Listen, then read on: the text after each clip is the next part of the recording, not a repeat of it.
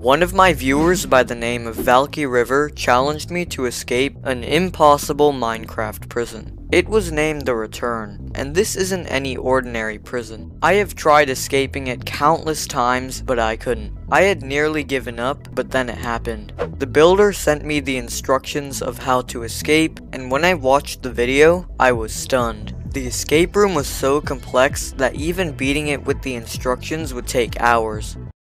And believe me, it's probably one of the hardest Minecraft escape rooms in existence. And as usual, here's how you escape.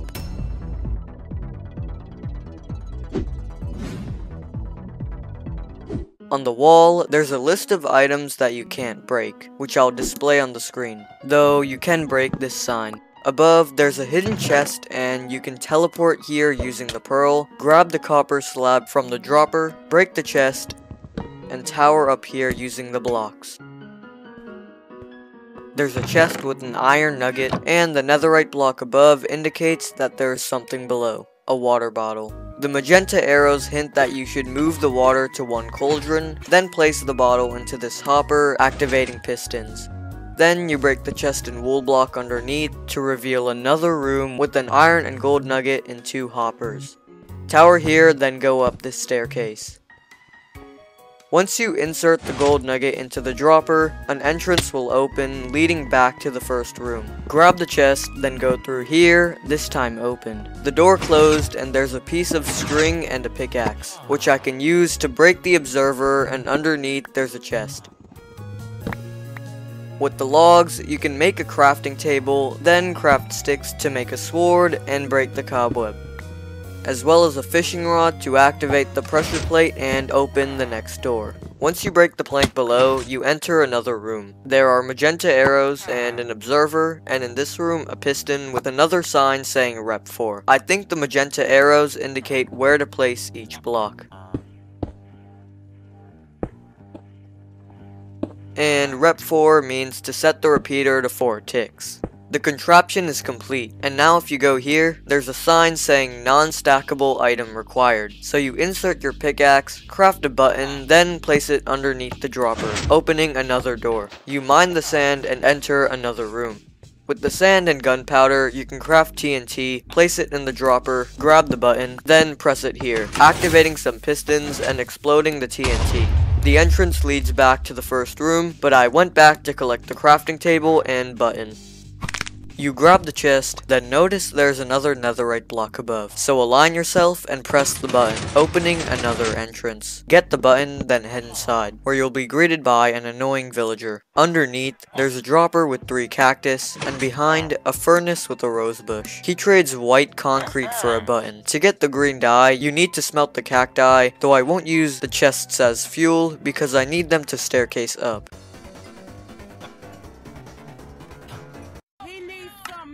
Oh yeah, there's also a hopper with redstone. That villager is trapped there forever. In this room, there's another redstone dust under the lava and a hole. I decided that my only option was to drink the milk, grab the lava with the empty bucket, put it here, then recollect it, which should open the next room. There's a wet sponge in the wall and behind a furnace. Now you can smelt the sponge using the lava, draining the water into the bucket. The room below is pretty dark, so a water bucket MLG isn't safe to travel down. I'll use a resource pack to increase the brightness because this room is pitch black. There's more redstone underneath the cauldron and I think you have to fill it. The dropper contains an iron nugget and a redstone torch. One sign on the wall reads x equals 25 and another z equals 32. Once you head to the coordinates and place the torch, a bunch of pistons will activate. The exit is hidden in plain sight. The sign says bucket only, so you grab the button, insert the bucket, then activate it, opening the door. Place the button on the magenta arrow, and an elevator will take you up. I disabled the resource pack and found some gray wool. When you head here, there's a wall of lava. I decided to look around and I actually found a potion of fire resistance and night vision. Drink the potion, then head to the other side, where you'll find a chest with these items. The pistons open a hidden entrance in the lava. You grab the chest and also another one above. I don't see what exactly to craft yet, so I'll break it and jump down here. There's a long way up. You can stack these blocks, but it won't be enough. Well, you could make some ladders to get up. Apparently some red dye with the rosebush, and another redstone torch for a repeater. Tower up with the ladders, head through, and there's a button and a dropper with an iron ingot. If you try the ladder, nope. The stick, also nothing. What about the bottle? Well, look at that. It actually opened the piston door. There are netherite blocks and a magenta arrow. And now you can place the redstone here. And the left arrow indicates to place the repeater in this direction. There's a hopper with cobblestone and an ender pearl. And you probably know that you have to place the ladder here and glitch through the bedrock. We're back in the first room and you can craft a lever which I suppose you can place here to open the door. Nothing? Now it worked. There's a sign saying Revel, and a bunch of other pistons. Well, Revel is lever backwards, so you put the lever in the dropper.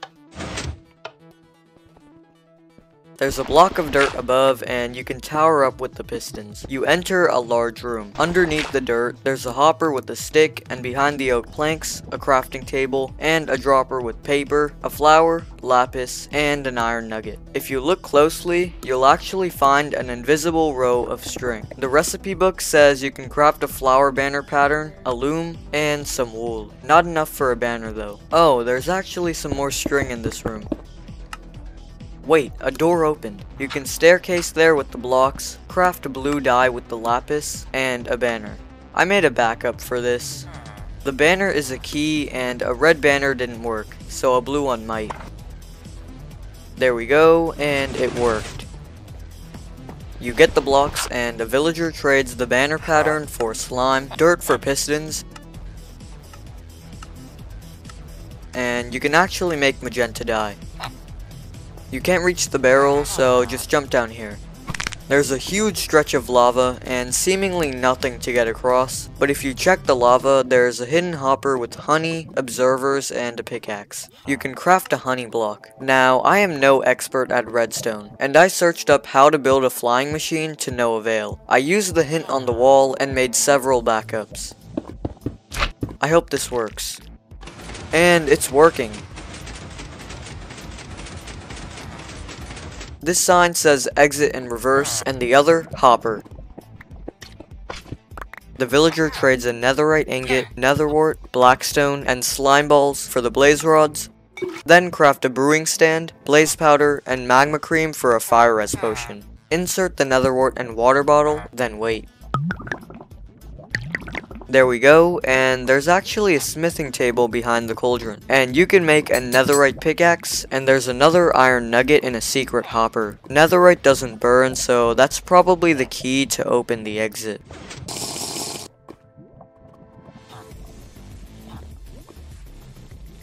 Just use these random blocks to get up, but you can always come back. In the corner, there's 3 wool and 3 planks. You could go left or right, but I'll just go this way first. It's the same villager as last time, so I don't think you need anything. The furnace contains an iron ingot, and in the barrel, a hoe and 5 more ingots. You might as well just break the barrel. Wait, it actually transferred to the furnace, so now you can smelt the iron hoe. There doesn't seem to be anything left to do here, so just head to the other passage. There's a crafting table with a bunch of recipes, but let's see. You can make 3 magenta wool, then craft a bed. Now, if you place it here and block this side, you should be able to glitch through the wall, back into the first room. With an iron trapdoor and pressure plate, you can place the trapdoor above and the plate below to crawl into the next room. Looks like someone's trying to summon Herobrine, except there's a chest underneath, a bow and some arrows in the dropper. Once you craft an iron ingot for a flint and steel, you head this way, and behind the blackstone, you'll see the nether portal. Here there's a TNT and this way, if you shoot an arrow through the lava, it'll ignite the TNT. Now there's a target, and if you shoot it, pistons will activate. And I think you have to open this door. Let me try inserting my items in the dropper. It opened. Now, what isn't necessary?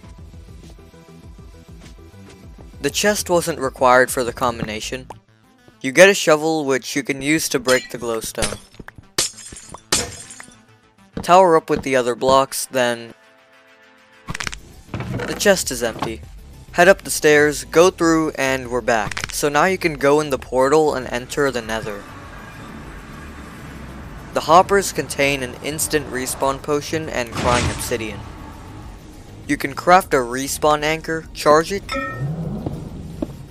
and use the damage potion to respawn in another room. In the hopper, there's another potion with jump boost and night vision. Drink it, then jump here, and grab the Eyes of Ender and fire charge from the dropper. This way, you can light the nether portal. There's a boat and an ice road, which will take you to the next area. Placing the boat on the pressure plate will open this door, and there's a bunch of Eyes of Ender scattered everywhere. And again, we have returned back here. No wonder it's called the return. I haven't explored this area yet. There's an end portal, and you can fill the frames, but there's still one more eye. Yes, there it is. Alright, we've entered the end. No, that's too many items. Just collecting all the stairs. Oh, it's actually pretty easy. You just craft a bunch of blocks using the recipe book. Smelt the copper with the pressure plates for 3 ingots, and you can craft a lightning rod. Now to get up, tower with all the blocks. Get the soul sand, and that's a tiny portal. End potion and ender pearl. We're back in the cage, so teleport out drink the fire res potion, and head through the lava. And we're back here. But you can create a bubble elevator using the soul sand. Nearly reached it. You have to swim up and jump to reach the platform. There we go. Another? This one's tall. Let me try again. I made it. Two bottles for a button. There's another netherite block above, so again, align yourself and activate it. The huge piston door is opening the exit. I've done it. I've beaten Minecraft's hardest escape room. Thank you for watching.